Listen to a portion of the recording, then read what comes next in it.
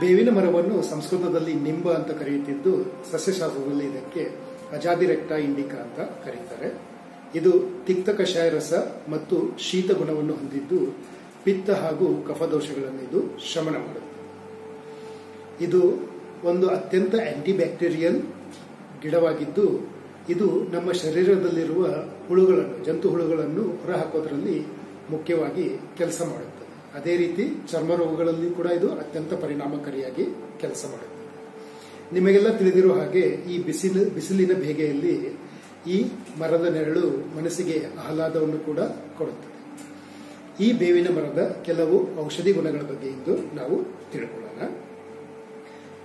ನಿಮಗೆಲ್ಲ ತಿಳಿದಿರೋ ಹಾಗೆ ಶೀತಪಿತ್ತ. ಶೀತಪಿತ್ತ ಅಂದ್ರೆ ಅರ್ಟಿಕೇರಿಯಲ್ ರ್ಯಾಷಸ್ ಮೈ ಮೇಲೆ ಏನು ಕೆಂಪು ಗುಳ್ಳೆಗಳಾಗ್ತದ ಆ ರೋಗದಲ್ಲಿ ಈ ಬೇವಿನ ಎಲೆಯ ರಸವನ್ನು ನಾವು ಲೇಪ ಕೂಡ ಮಾಡಬಹುದು ಅದೇ ರೀತಿ ಈ ಬೇವಿನ ಎಲೆಯ ಪೇಸ್ಟ್ ಅನ್ನು ನಾವು ಆಮಲಕ್ಕಿ ಚೂರ್ಣ, ಅಂದ್ರೆ ಬೆಟ್ಟದ ನೆಲ್ಲಿಕಾಯಿ ಚೂರ್ಣದೊಂದಿಗೆ ಕೂಡಿಸಿ ತುಪ್ಪದೊಂದಿಗೆ ಸೇವನೆ ಮಾಡೋದ್ರಿಂದ ಇದು ಅರ್ಟಿಕಿರಿಯಲ್ ರ್ಯಾಷಸ್ ಶೀತ ಪಿತ್ತ ಅಂತ ಏನ್ ಹೇಳ್ತೀವಿ, ಅದನ್ನ ಒಂದೆರಡು ದಿನಗಳಲ್ಲಿ ಕಡಿಮೆ ಮಾಡುತ್ತೆ.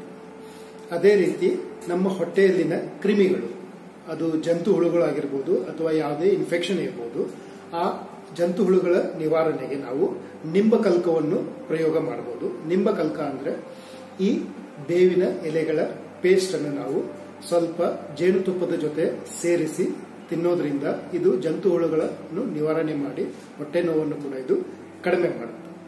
ಅದೇ ರೀತಿ ಡಯಾಬಿಟಿಸ್ ಕಂಡೀಷನ್ ಅಲ್ಲಿ, ಅಂದ್ರೆ ಮಧುಮೇಹದಲ್ಲಿ ನಾವು ಇದರ ತೊಗಟೆಯ ಕಷಾಯವನ್ನು ಸೇವನೆ ಮಾಡೋದ್ರಿಂದ, ಒಂದು ಹತ್ತರಿಂದ ಇಪ್ಪತ್ತು ಎಂ ಎಲ್ ಅಷ್ಟು ಸೇವನೆ ಮಾಡೋದ್ರಿಂದ ಇದು ಬ್ಲಡ್ ಶುಗರ್ ಅನ್ನು ಕಂಟ್ರೋಲ್ ಮಾಡುತ್ತದೆ. ಅದೇ ರೀತಿ ಶುಗರ್ ಕೂಡ ಕಂಟ್ರೋಲ್ ಆಗುತ್ತೆ. ಅದೇ ರೀತಿ ಜ್ವರದಲ್ಲಿ, ಯಾವಾಗ ನಮಗೆ ಫೀವರ್ ಬಂದಿರುತ್ತೆ, ಆ ಟೈಮ್ದಲ್ಲಿ ನಾವು ಇದರ ತೊಗಟೆಯ ಕಷಾಯವನ್ನು ಸೇವನೆ ಮಾಡೋದ್ರಿಂದ ಒಂದೆರಡು ದಿನಗಳಲ್ಲಿ ಕೂಡ ಇದು ನಮ್ಮ ಜ್ವರವನ್ನು ಕೂಡ ಇದು ಕಡಿಮೆ ಮಾಡಿ ಇನ್ಫೆಕ್ಷನ್ ಅನ್ನು ಕಡಿಮೆ ಮಾಡುತ್ತದೆ. ಅದೇ ರೀತಿ ಚರ್ಮ ರೋಗಗಳು, ಮುಖ್ಯವಾಗಿ ಬೇವಿನ ಮರವು ಚರ್ಮ ರೋಗಗಳಲ್ಲಿ ಅತ್ಯಂತ ಪರಿಣಾಮಕಾರಿಯಾಗಿ ಕೆಲಸ ಮಾಡುತ್ತದೆ.